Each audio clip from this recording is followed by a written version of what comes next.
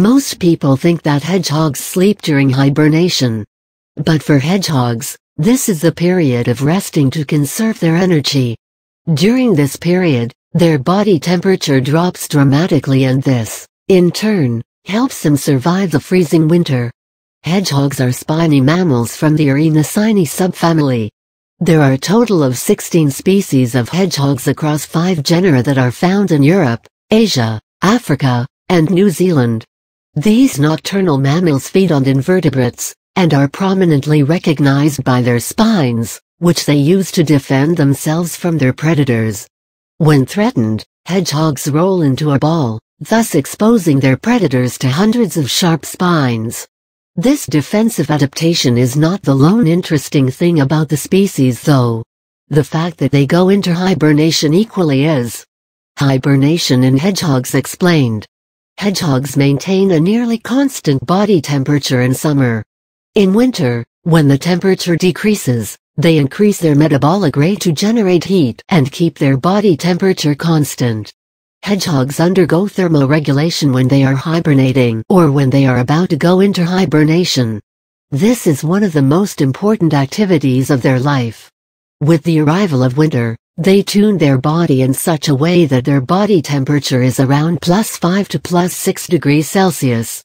This is a necessity for the species as food becomes scarce in this season and it is not possible for them to maintain their summer body temperature.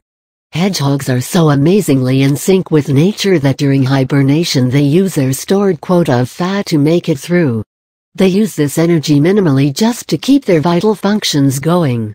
They create their home or habitat for hibernating, called the hibernacula. They don't go into hibernation before they gain the sufficient weight. The minimum weight required for a young hedgehog to hibernate in the wild is 500-700 grams. In addition to that, there is a sex specification in hedgehogs. Males go into hibernation first and then, are followed by females. The duration of hibernation ranges from 3-5 months.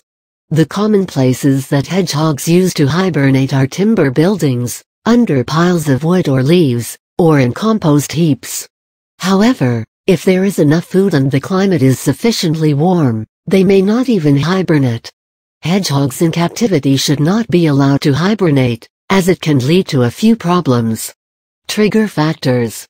Low and sudden dip in temperature in most of the cases, Hibernation in hedgehogs is triggered by a fall in temperature, especially if there is a sudden dip in the temperature.